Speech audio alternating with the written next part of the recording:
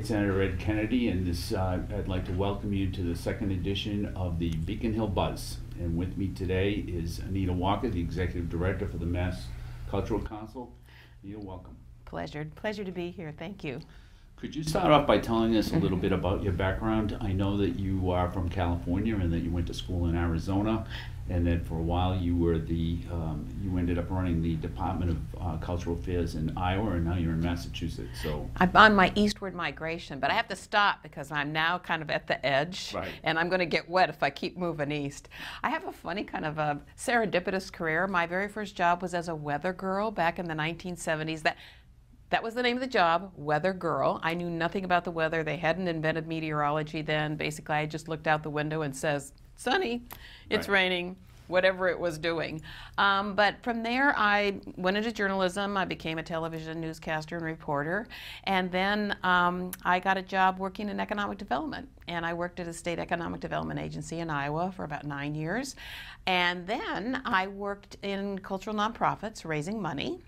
And after that, uh, Governor Tom Vilsack, uh, who was governor of Iowa at the time, appointed me to run his Department of Cultural Affairs. So it took sort of my communication skills, economic development, and as we know, the cultural sector is a big economic driver, and fundraising, which you know I spent a little bit of time doing on Beacon Hill, all came together um, to uh, kind of made me in a good position to do this kind of work.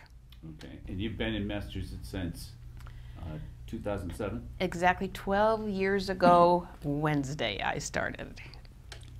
Um, and what have been uh, the main areas of that you were focused on, um, and what are your responsibilities at the Mass Cultural Council? Well, I really appreciate the opportunity to talk about the agency. A lot of people don't even realize we're a state agency.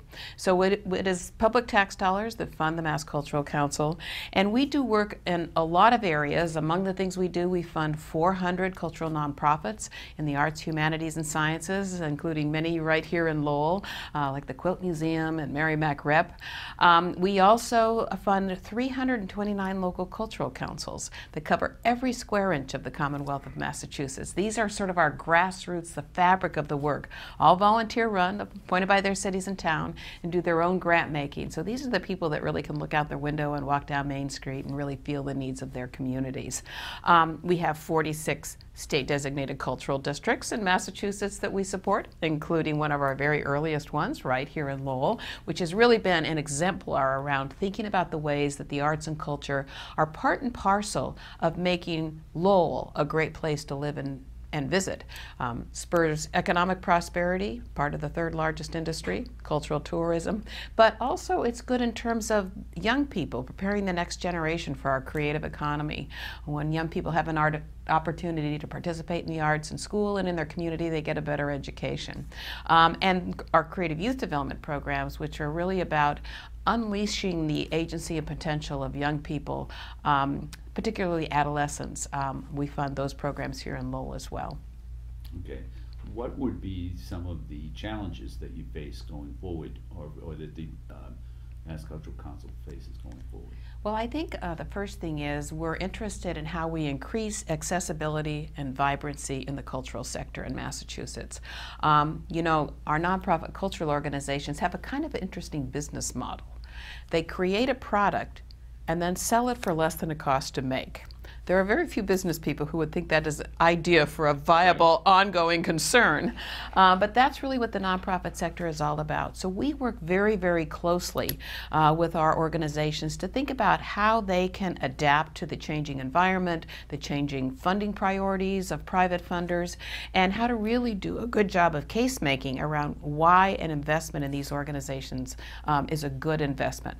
Yes, we make grants but we also provide an enormous amount of technical assistance and consultation. So we're really interested in the health and sustainability of our organizations that are really the backbone of the work.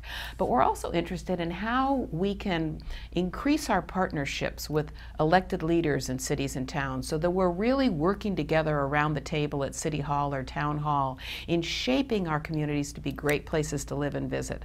Our cultural sector isn't just about creating entertainment over here to be doing in an evening morning or on a Saturday, but we're really part and parcel of the life of our community. It's really a dynamic sector and it has a lot to bring to the table, so we're working really hard on that. And then finally, when I talk about accessibility, we know there are a lot of people who would really love and benefit from participation in the arts, but don't think they can. They don't think they can afford it, or maybe they've never been to the theater or the, to a concert and they feel intimidated. You know, what, what, would it be like to walk into a show at Merrimack Rep if I've never been there before?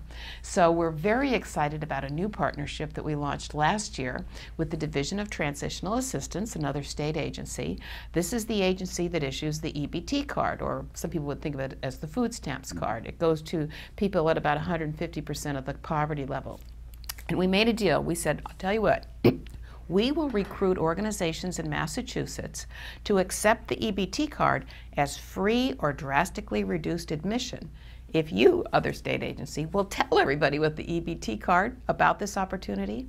Well, just since last July, we've recruited 180 organizations in Massachusetts to accept the EBT card, and since then, more than a quarter of a million people with the EBT card have taken advantage of it. So I would say if we have viewers who have the EBT cards, uh, go to our website and take a look and see if there's an organization near you so you can be an arts participant. That's, that's pretty incredible.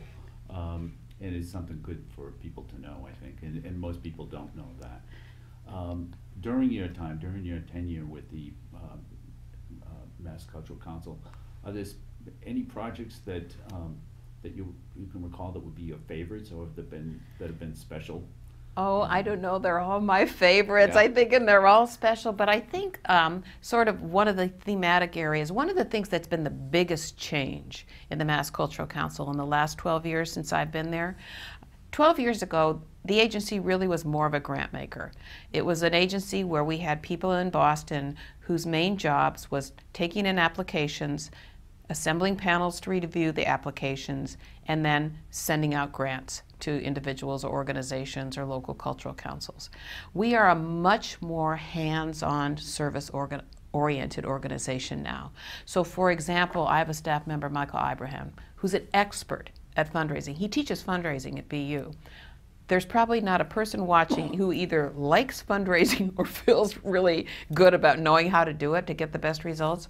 We send Michael out to every corner of the Commonwealth. He will sit at the kitchen table with a volunteer who's trying to raise money for her local chorus or community theater or youth program and sit and work together until they have a good fundraising plan in front of them.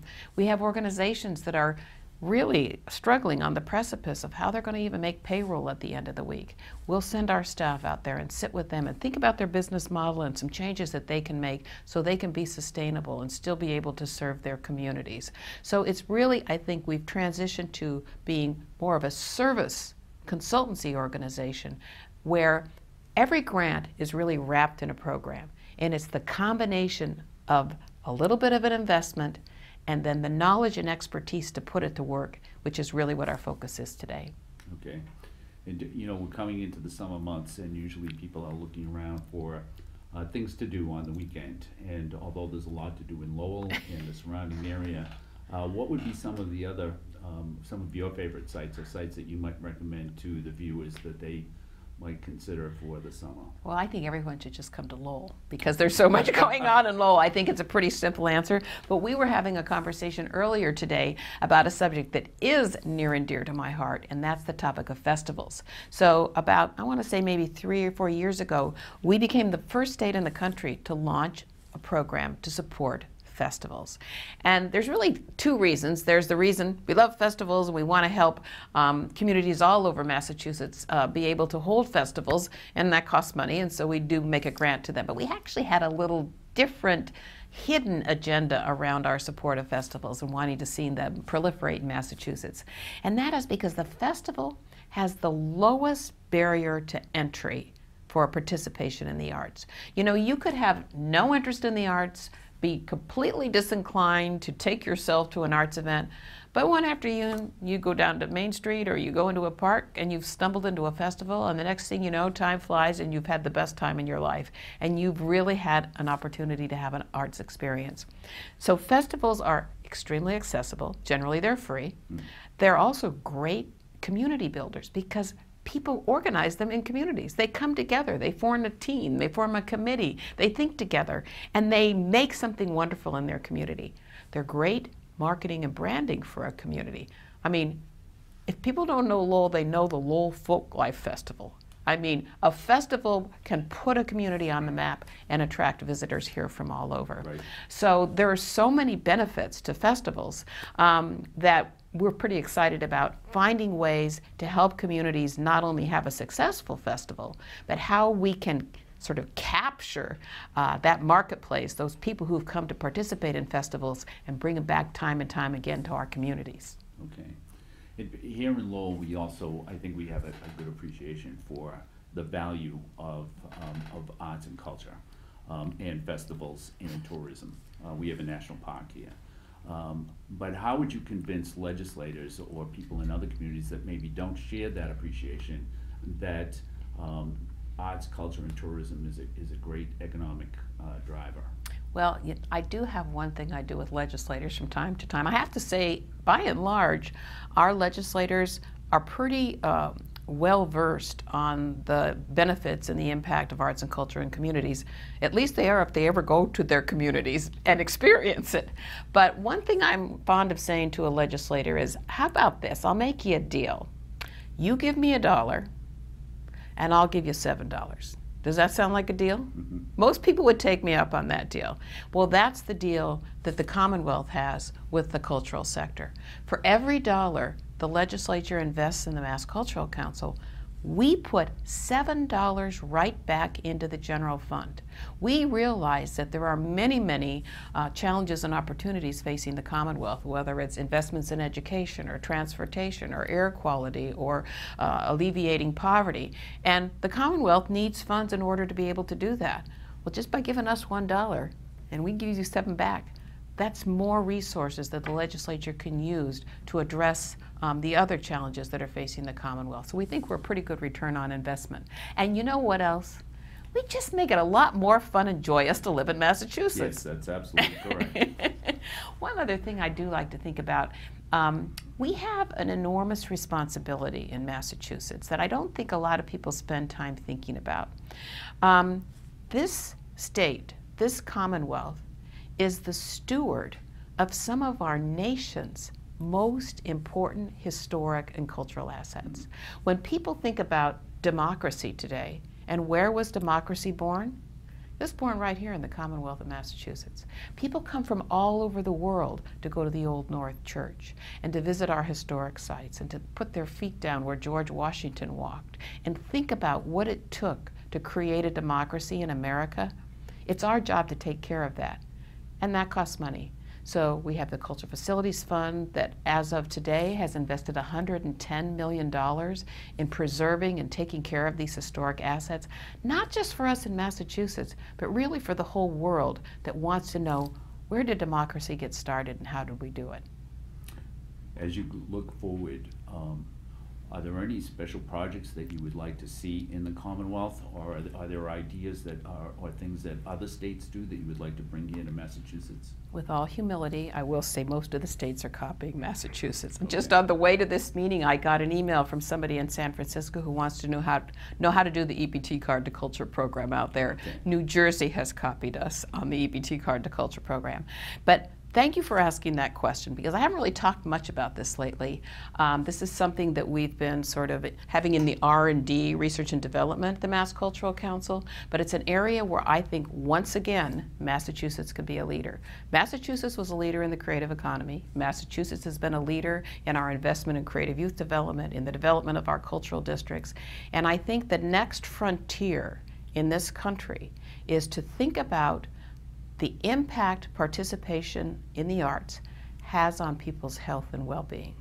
Now, other countries are ahead of us, but we'll catch up and get ahead of them pretty quick. Mm-hmm. But let me give you one example. England, this year, at the beginning of in January, the head of public health for England announced we're spending too much money prescribing pills and over medicating people. We need to think of an alternative. It's expensive and it isn't effective. And we now have an opioid epidemic, like is all Right. over the world. He authorized for the first time in England something called social prescribing. And what that means, if somebody comes to the doctor and they're lonely or they're depressed, the doctor might write a prescription to go to the theater, to go take an art class. The number one most expensive health problem facing senior citizens over 75 is falling down. In England, they prescribe ballet.